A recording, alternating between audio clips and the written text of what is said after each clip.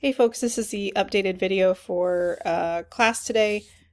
So the first thing we're doing, um, if you wouldn't mind, uh, please evaluate my course on Flashline. You can log in using your email credentials and it will prompt you to evaluate the course. Um, we're going to start Raya and the Last Dragon today. Um, so yeah, um, for homework I asked you to, you know, sleuth some stuff about Raya and the Last Dragon, um, if you want to share some cool things you learned, share that on the Unit 7B reflection channel.